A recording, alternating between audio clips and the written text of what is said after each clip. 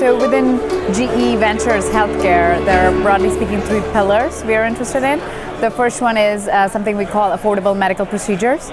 So that uh, has anything to do with uh, either patient monitoring or minimally invasive procedures. Uh, the second pillar is uh, something we call precision medicine, and that is in vitro diagnostics as well as life science enabling tools.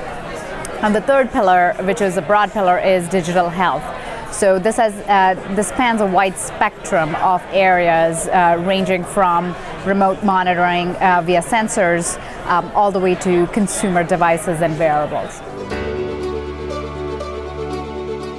So I wouldn't say it's overhyped per se. It's more momentum. That's what I would classify that. And uh, what I would put in that category is the whole space of wearables, right? And wearables can range anything um, from consumer wearables all the way to something that's actually clinically available and in the hospital, right?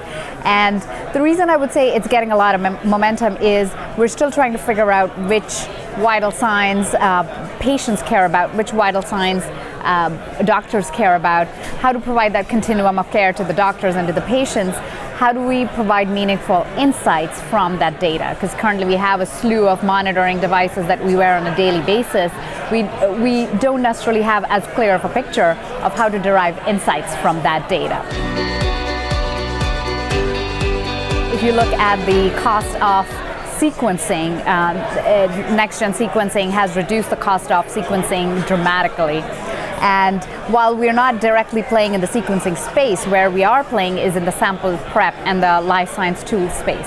And uh, this area, we've had some very successful exits in this area, very, very successful IPOs of com companies um, like um, uh, NanoString. Um, and uh, it, this is an area which historically has gotten um, less attention. However, I think there's a lot of money to be made. We recently invested in a very promising company called Raindance Technologies, and uh, there's a lot of money to be made, um, but it just doesn't necessarily uh, get on everyone's radar, so to speak. Broadly speaking, the advice uh, we like to give entrepreneurs in terms of when they, it, what, what they should be looking at when they're forming their company is um, think about disrupting healthcare along three metrics, right? Uh, how do you disrupt it from an affordability perspective? How do you disrupt it from an access perspective? Um, and how do you disrupt it from a quality perspective, right?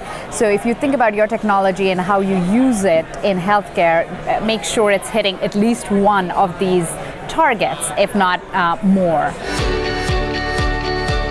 Having too broad of an identity of your company, right?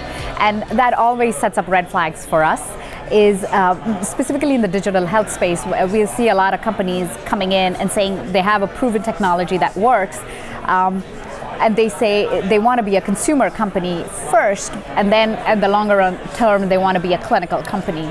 Uh, and, and it's tough being both just because it's completely different business models, completely different focus and commercial models and skill sets that you need.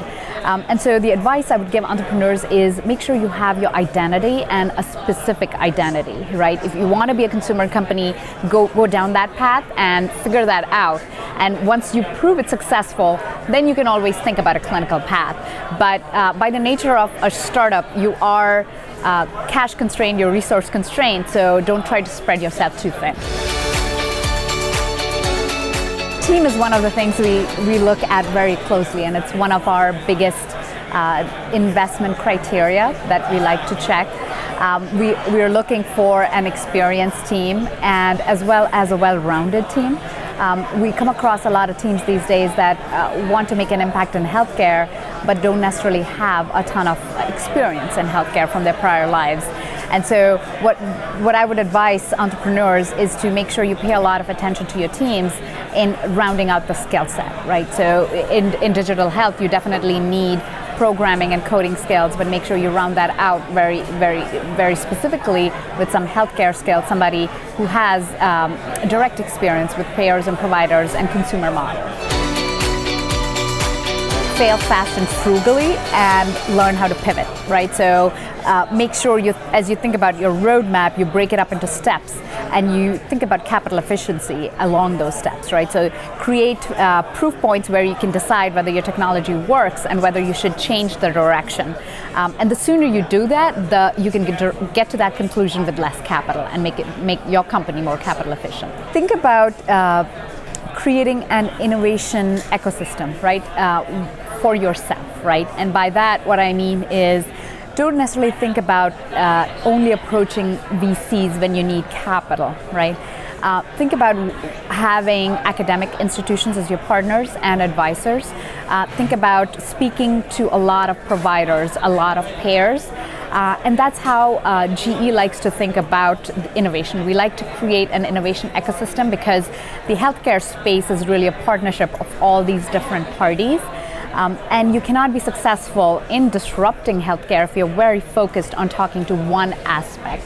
So make sure when you are thinking about your startup, uh, make sure you talk to a lot of people and get them on board as your partners, as your advisors, and potentially as investors when your company is further down the road.